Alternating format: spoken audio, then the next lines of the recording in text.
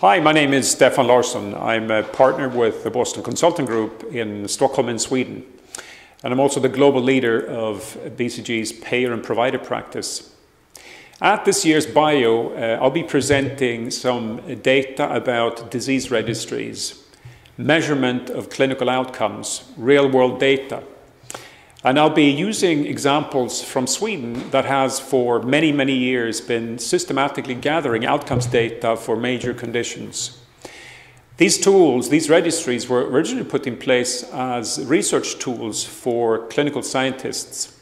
But they have, over the past years, become a platform for a transformation of the healthcare landscape uh, and how healthcare is managed in Sweden. And these registries, the measurement of outcome, has had five major impacts.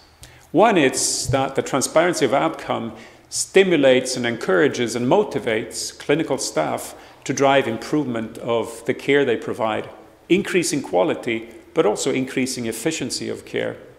Secondly, uh, the reimbursement models are being tested that, in fact, build on outcomes as well performance-based reimbursement for private providers in the country.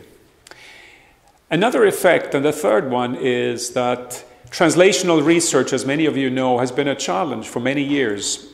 But measuring outcomes and measuring clin clinicians on the outcomes they achieve encourages translational research. It moves innovation from basic research into clinical practice as clinicians are measured on how they can improve the outcomes for their patients.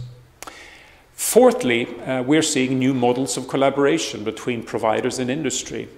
Companies, pharma and medtech companies, are increasingly required to show, demonstrate that their products deliver real world uh, improvement in healthcare.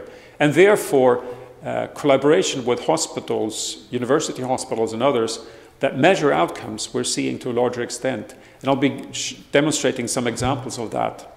And finally, uh, but most importantly, the measurement of outcomes through these registries are significantly improving the quality of care for our patients.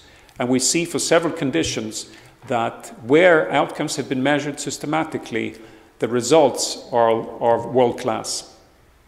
But I will not only give you a Swedish perspective and Swedish examples, I'll also share with you international examples. And one I will emphasize is an international effort to try to create global standards for measurement of out outcomes. And this is the ICHOM, the International Consortium for Health Outcome Measurements. That's defining global standards for a number of the major diseases around the world. I hope you'll join me and the colleagues for this session at BIO and uh, believe that we'll be sharing some exciting information for you. Welcome.